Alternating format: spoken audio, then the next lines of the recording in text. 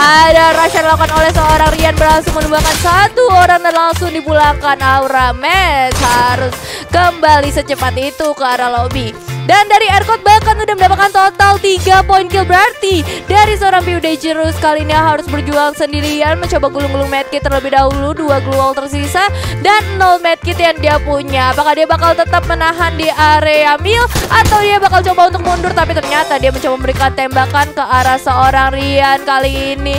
Masih coba di positioning lagi Dan itu dia udah bertemu depan sana. Satu glow langsung di pop up aja Dan beberapa tembakan masuk di sana cukup sakit. Tapi tiga lawan satu apakah berhasil survive kali dari seorang Dangerous ternyata Aura Ignis harus puas di posisi ke-11 sisi wallnya Evos bahkan masih ada di sana.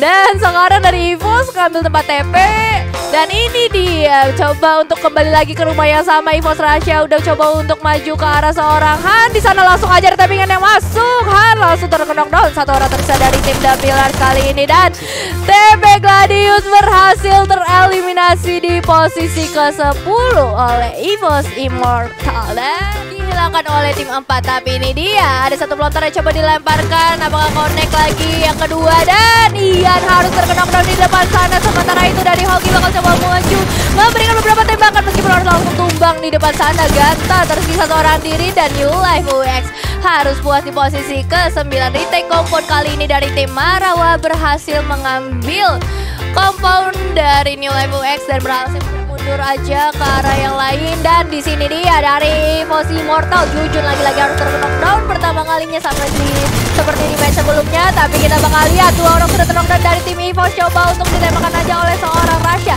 Coba untuk menumbangkan tapi harus tumbang duluan. Dan Lizard apa yang akan dilakukan oleh Lizard? Tapi Lizard berhasil membalikan keadaan kali ini.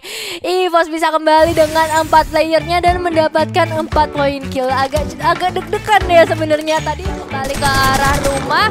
Dan dari Nemo di sini juga coba untuk mundur lagi. Tadi coba untuk menyelamatkan teman aja harus coba untuk mundur lagi. Dan udah banyak banget track yang muncul di sana memecahkan glue sementara itu Ganta harus terkena down juga. Time turner sudah diaktifkan. Nemo masih dengan sangat lincah mencoba pop up beberapa glue di sana.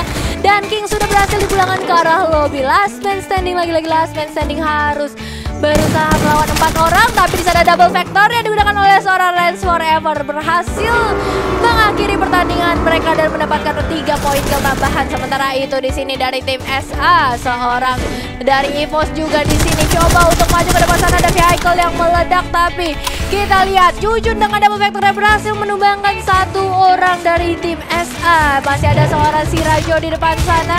Dan langsung aja dari EVOS Raja dua tappingan aja masuk ke arah shared ability puas di posisi ke-6 eh, sebu binatang apa sih sebuah ya?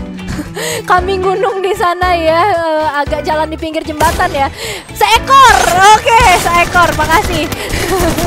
Jadi langsung aja coba untuk melakukan close combat dari masing-masing dua orang sudah terumbang di sana dari tim Aura. Masih coba seorang Aura Adrian dengan shotgunnya berhasil menemukan dua player.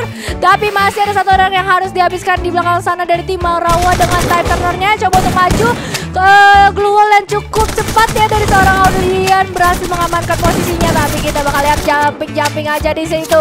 54 HP tersisa dan Stacy Bekasi puas di posisi. Oh ya ini yang gue cari. Aura Ignis berhasil. Eh berhasil. Aura Ignis harus puas di posisi ketujuh menunggu di area belakang tembok menunggu teman-temannya untuk maju ke depan. Karena dari seorang Gaza udah maju duluan harus terlalu di sana ada backupan yang dilakukan oleh seorang Rizky ke arah tim 12 coba untuk menembakkan dari arah belakang aja tapi benar lagi-lagi di pop up di sana. Udah cukup sekarang tiga player sudah terknockdown dari tim Redcoat dan ini dia Rizky. Bisa akan mendapatkan beberapa poin lagi tapi ternyata Redcoat harus puas dengan dua poin kill aja di posisi ke 5 di mana ada tim The Pillars melawan tim EVOS Immortal. EVOS Jujun udah kehilangan SP yang cukup banyak. Jangan sampai seorang Jujun harus terknockdown lagi karena kalau kita lihat di dua match awal-awal Jujun sering banget terknockdown di awal-awal game dan kita lihat langsung aja EVOS Jujun coba untuk memberikan damage tapi sayang sekali 3 lawan 1 emang lumayan susah buat seorang Jujun bisa bertahan tapi dari seorang Tim Mario masih berhasil untuk revive kali ini. Dari tim Pillars coba untuk masuk tapi kaget kayaknya ada dua orang player di dalam rumah. Namun masih berhasil menumbangkan dua orang player lagi dari EVOS Immortal. Dari kejauhan Evos Lizard coba untuk memberikan tappingan. Langsung aja masuk di sana coba berhasil mendapatkan satu commit kill triple kill. Di sisi lain berhasil didapatkan oleh tim Aura kembali lagi ke arah tim Evos Lizard berhasil menambahkan satu poin ke knockdownnya. Meskipun seorang Jujun harus dipulangkan ke arah lobby. Dan kayaknya dari tim Evos bakal coba untuk melakukan revive tapi ternyata My Putra berhasil memulangkan Immortal di posisi ke-11 satu orang lagi masih berada di bagian bawah.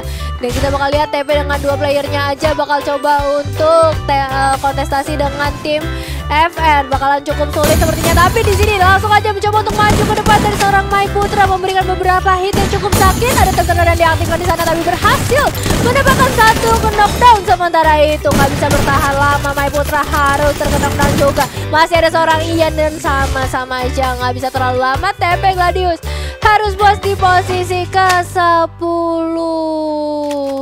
sementara